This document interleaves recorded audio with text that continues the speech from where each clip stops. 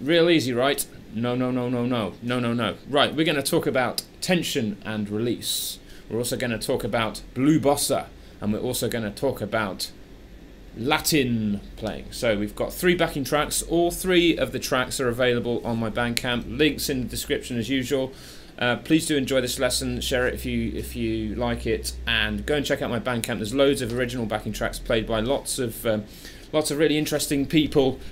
Um, go and check them out and support your local functional alcoholic father of two. Um, so, without further ado, I'm going to talk about Rembrandt's Sea of Galilee and how it relates to Blue, Blue Bossa and 251. So, let's have a look straight away. So, here we are.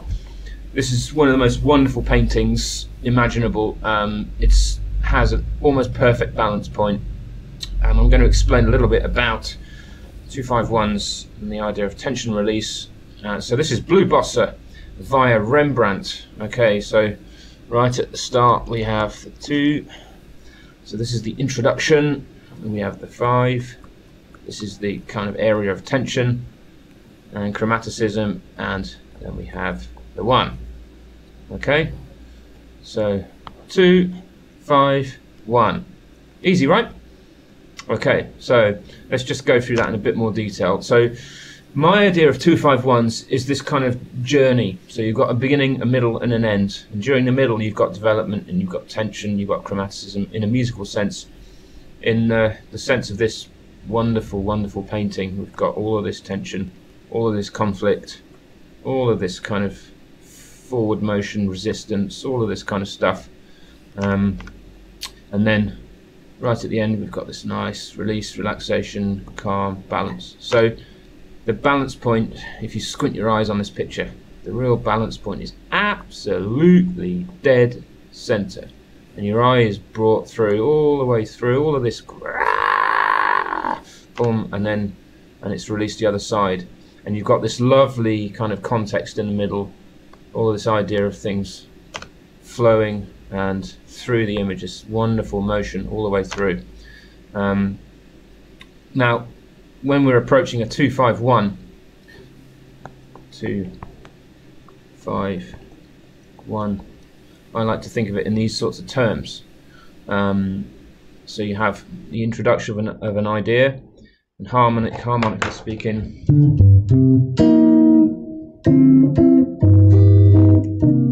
Excuse me, I've got my pick. Got my pick stuck in there, so that's why it was out of tune. Sorry about that that's a nice little bit of tension in itself. So D minor, G7, G7 altered, C minor. Okay, related to this picture. D minor 7, G7, and C minor over the end there. Okay. Okay. Introduction of the idea.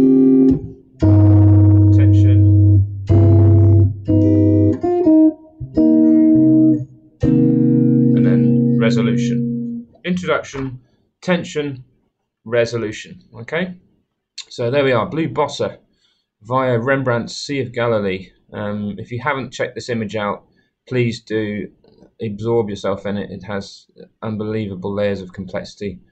Um, the use of light is incredible, and the way that um, it's sort of a bit abstract. I do realise that, um, but when we're talking about these sorts of things, there are analogous. Uh, that is to say, um, you can draw an analogy to things like this, lovely, lovely pieces of art, um, motion, dance, all of that kind of stuff. Anything that that, that sort of has displays balance.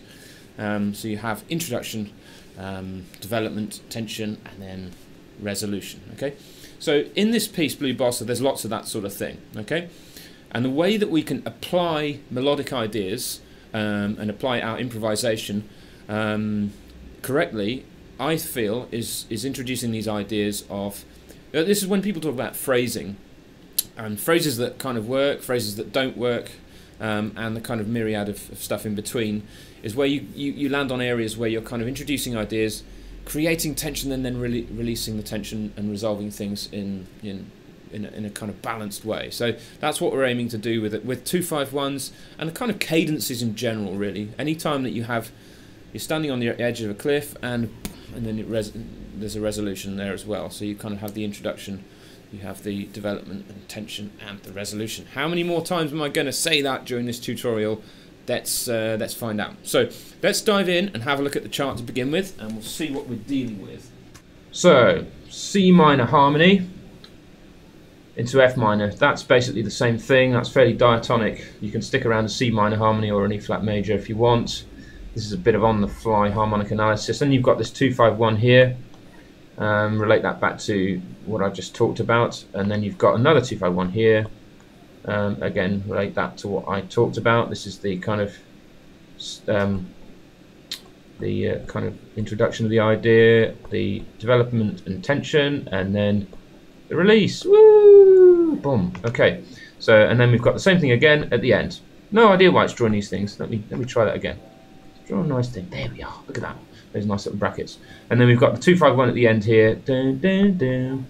Okay, so you've got the establishment of a C minor harmony. Uh, never mind the F, F minor seven. It's just the same. You can you can explore that if you want, but it's basically fairly diatonic that first bit. And then we're into this series of um, of two five ones. So let's play this through with the slower version of the backing track. Um, like I said, all of these all of these uh, tracks are available via my Bandcamp. Sorry about the little noise in the background, by the way. It's incredibly cold up here, um, as you'll see now. I've got a heater on here to keep me from freezing. So there we are. So let's play with this backing track at the slower speed, and we'll talk a little bit about some approaches and ideas.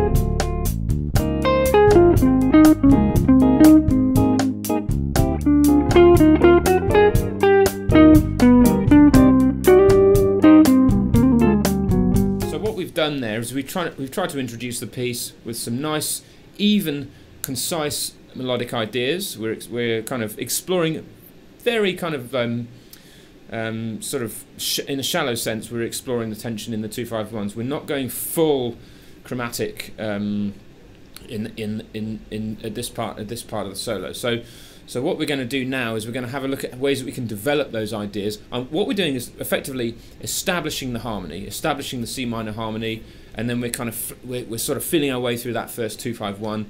We're setting, um, we're kind of calibrating the listener, if you like. It's a really good idea. Effectively, the analogy I like to use is is like you come into a room and you grab everyone's attention. You introduce yourself. You say, "My name's such and such. I'm here because of this. These are the ideas I want to talk about." and then you get into the main content and thrust of what you want to say. Okay, you don't just waltz into a room and start streaming consciousness at everyone because no one wants to listen and they'll just ignore you. Okay, so I like to think about it in the same sort of terms with a solo as well. So you arrive in a room, you get someone's you get someone's attention with a nice concise idea. So everyone kind of turns around and goes, "Oh, that's nice, interest. I can I can hear what's that's what's going on there. Oh, there's another idea. Okay, now I'm listening. Now I'm focused. So they go from not focusing you on you at all to focusing on you 10%, 20%, 50%, and, and then they're fully invested in your solo. Okay? So this is what we're trying to do when we start solos off. So in a pragmatic way, we can use very short phrases, three, four seconds long, allow them time to breathe, like we spoke about in, in last week's lesson, um, and then develop the idea slowly. Okay, rather than hitting the ground at 100 miles an hour and dropping every um, every chop that you have on at your disposal in that first 30 seconds. Um, we're looking at introducing ideas slowly. Okay. Uh, what that does is it sets the stage. It builds your foundation, if you like. I'm full of analogies today. Uh, it builds your your foundations and allows you to build first floor, second floor, so on and so forth. And then you have a house. So this is a Latin feel and a bossa nova. Okay, this is this is the slowest version of the backing track. Okay. So there's lots of content there to listen to. Um, you've got the clave.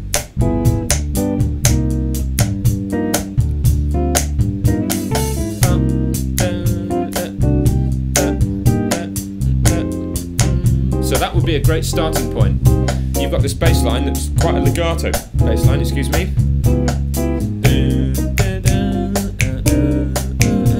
So all of this, all of this while, there's a bit of a myth, okay, when it comes to playing over standards that you have to focus on the changes and use them as your content to play over solely. Not true. You've got the melody, you've got the rhythm, you've got the bass line, and you've got the harmony on the bottom of that. So you've got all of that stuff.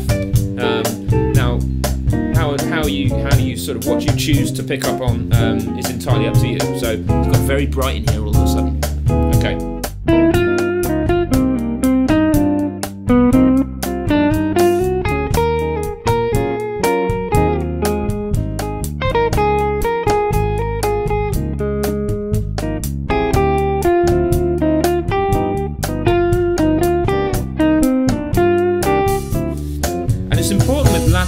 especially bossa, to kind of leave those phrases, really be lyrical with your phrasing. Okay, this is not like a bebop tune.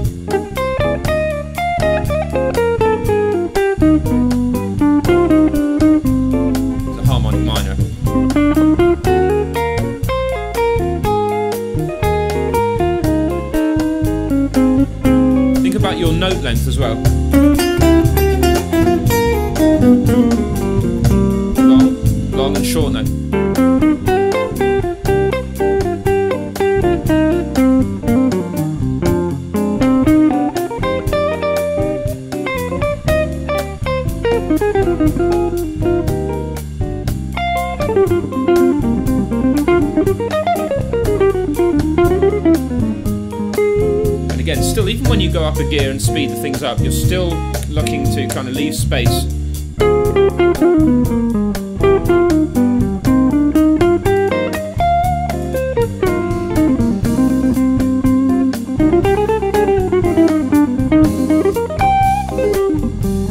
Leave the space.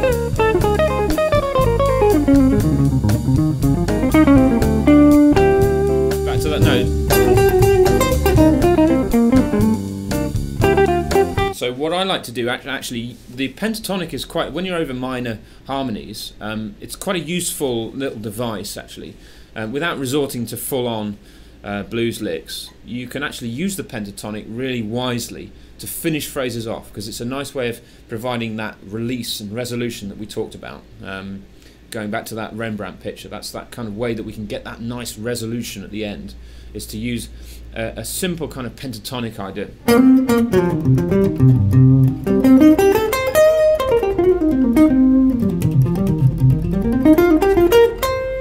Simple pentaton- pentatonic idea, not necessarily a not necessarily a blues pentatonic idea, more of a square shaped pentatonic, and by that I mean you've got this kind of if you imagine a line across, across, and like an literally like a square shape. So kind of visualize that on the fretboard.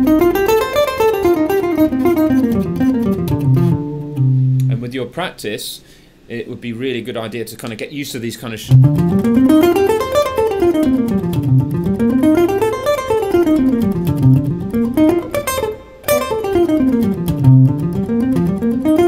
all of those, all of those kind of classic uh, woodsheddy kind of ideas. Okay, so with your practice, um, your practice routine, never any more than five minutes. Okay, I'm going to really annoy some people here um, because I'm going to throw something out there and you're going to get fully triggered. Uh, some people uh, because I'm going to say that you don't need to practice scales and arpeggios more than five minutes every day, and I'm, I'm going to explain why. Firstly, your brain won't take it in. Uh, secondly, The thing that you're really working in, working on when you're you're exploring this idea of playing things for five minutes is your focus. Five minutes of incredibly highly focused practice every day will absolutely exhaust you. Okay, and it will have a huge impact on your learning, and it's something that will kind of have a big accumulative effect if you're doing it regularly. Practicing is very important. Um, it how you practice is very important. It's very important to practice little and often. Okay, practicing for hours and hours and hours and hours every day is not a good idea. Categorically, not a good idea.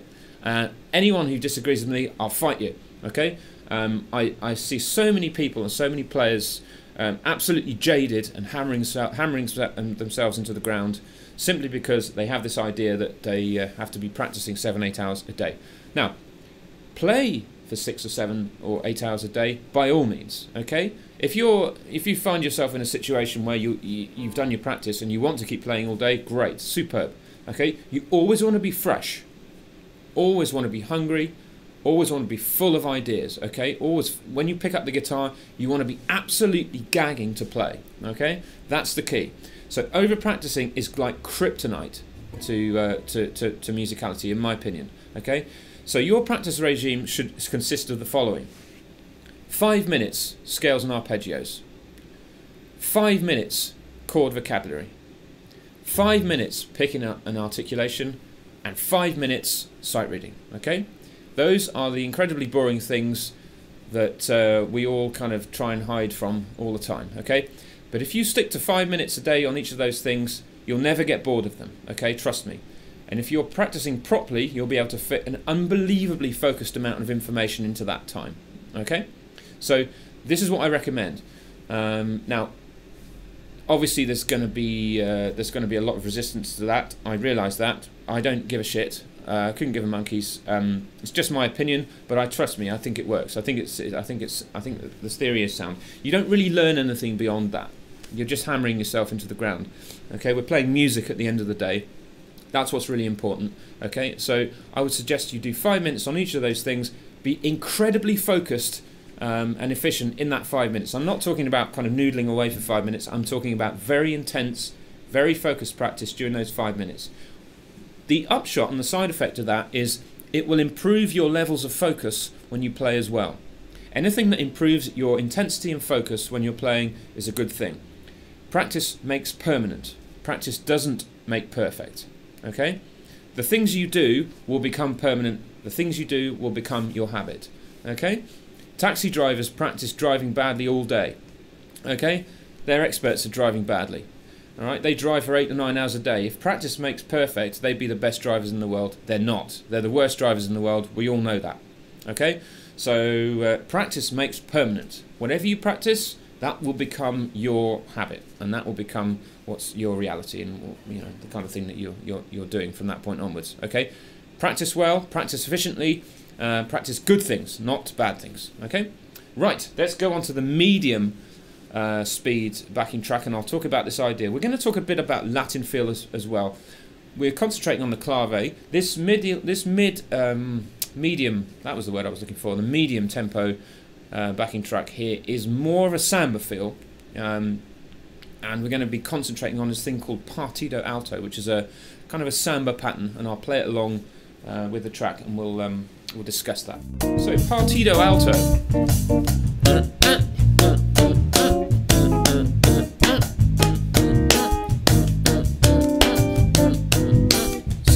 Those are the accents, okay, and that's the kind of emphasis in your mind.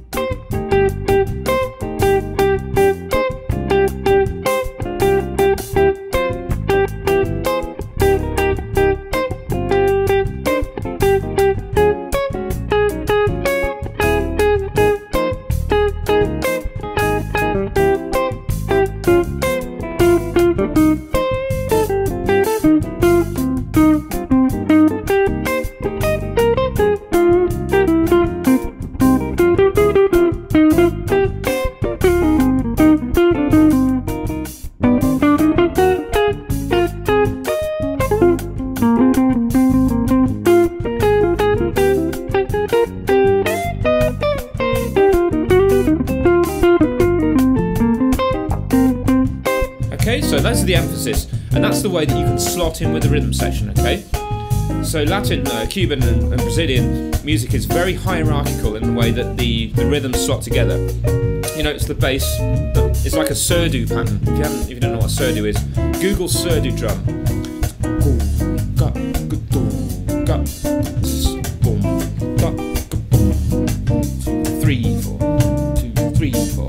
Okay? So everything slots around that.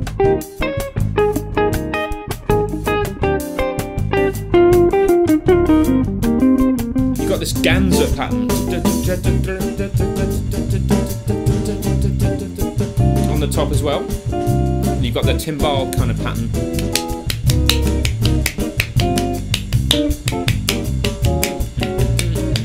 So you've got this kind of nice layering of uh, parts there as well. So your job is to kind of fit in with that really. So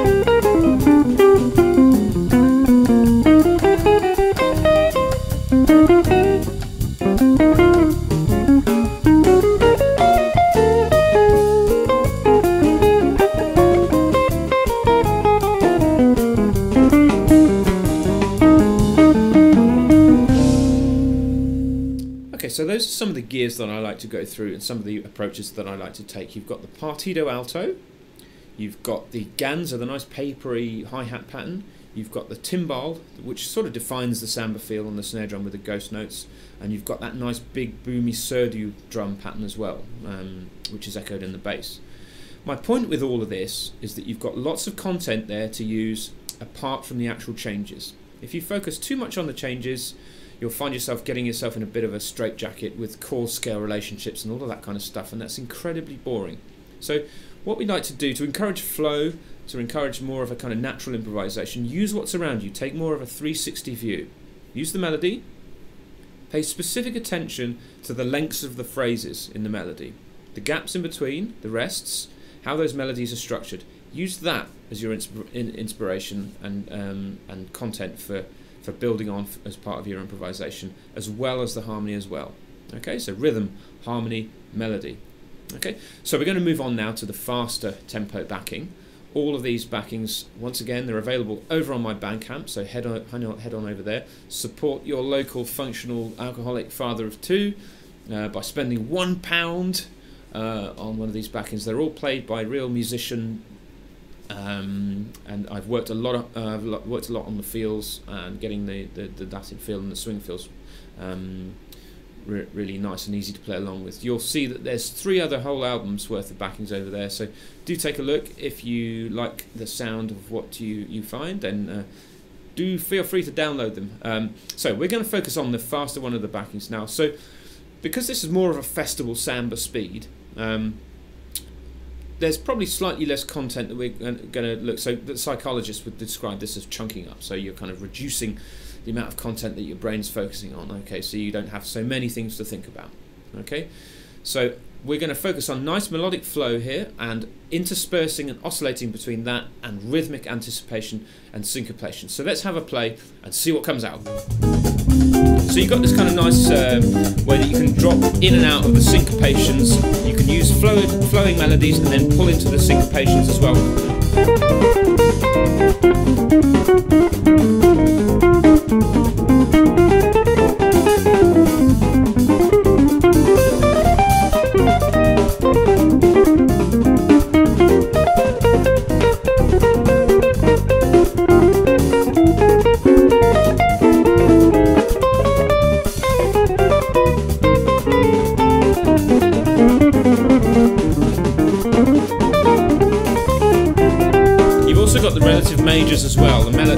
Major triads, F uh, major and E flat major as well.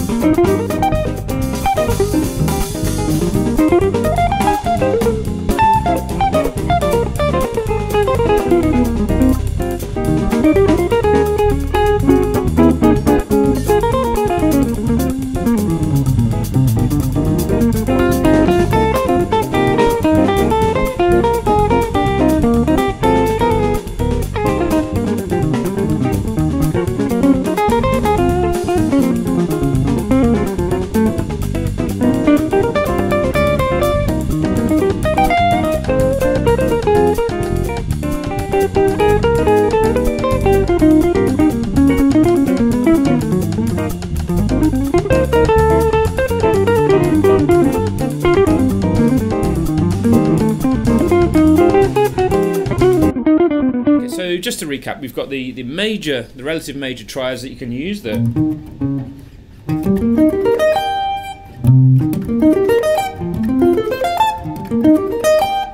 over the over the C minor, you've got this kind of like this kind of natural, nice natural modal approach with the major six.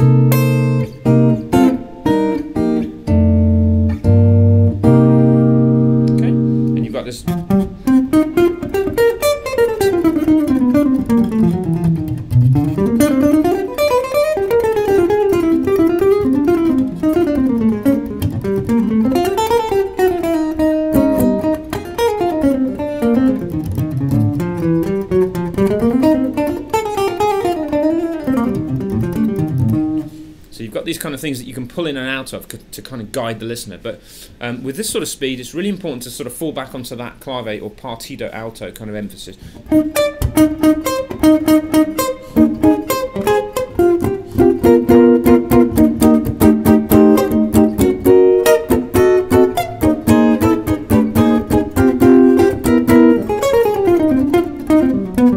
So plenty to be getting on with. Okay, you've got three speeds there. You've got all three backing tracks that are available to download.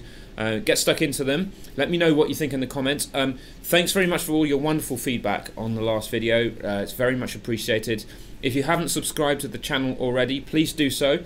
Um, hit the notifications bell, and every week on a Tuesday there'll be a new lesson. Um, with a bit of luck, we'll see. Hopefully. um, so so thanks very much, and we'll see you next time.